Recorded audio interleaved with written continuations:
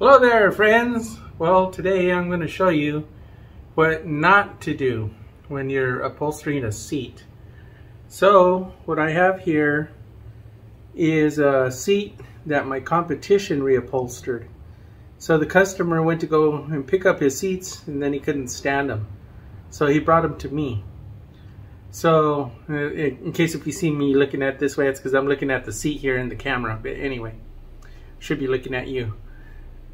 But anyway, you know, I don't really like to rip on other people's uh, work. And I, I try not to make that a practice. But when somebody brings something like this to me, that means I have to fix it. So I get to see what I, all the different things I need to fix. So let's check them out. So I'm just going to go through these items really quick. So I think the first thing you'll probably notice are the wrinkles. Uh, that's because there's the absence of quarter inch foam or even half inch foam behind the vinyl which makes all this. And then all the patterns are wrong really. You'll notice the gap between the backrest and the bottom cushion. Those are some of the other things. Then um, on top of that some of the other things is stuff details like the welt right here okay this is what not to do okay I'm not showing you how to do something here I'm trying to show you what not to do. So we don't want to do these things. Some of the other items on this upholstered seat is going to be the way the welt was sewn. You see, I'm trying to get the focus right here on the welt. Let's do that. So you can see the stitching on the welt, which you're not supposed to be seeing.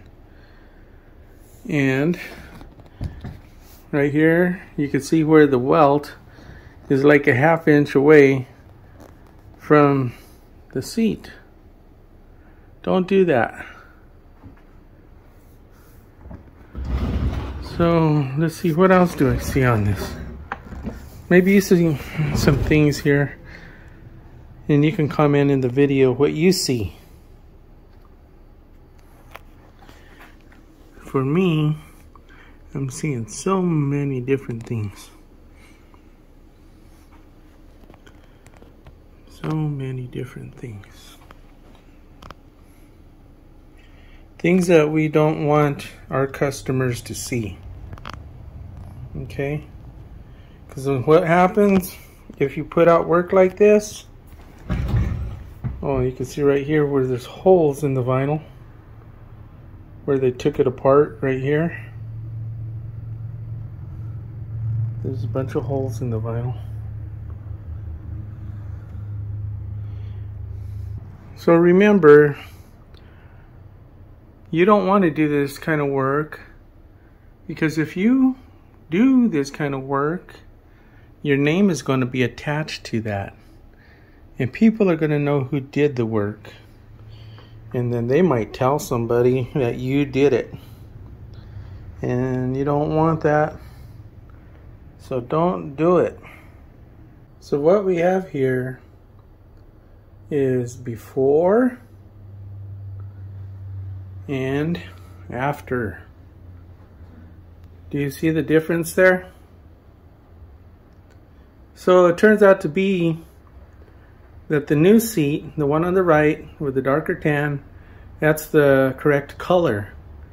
For some reason she did this light yellowish tan instead of the correct color tannish brown. So we went back to the original vinyl and I had to alter any kind of patterns to actually it wasn't really an alteration it was more of a fabrication I had to fabricate new patterns so that we can get the correct fit on everything so my friends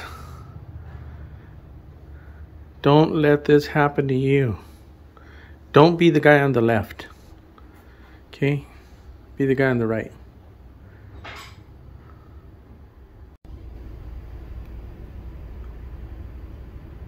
Well, my friends, so don't let this happen to you. So, now you know the difference and let this be a lesson that I hope that you can take with you for the rest of your life Till next time, we'll see ya.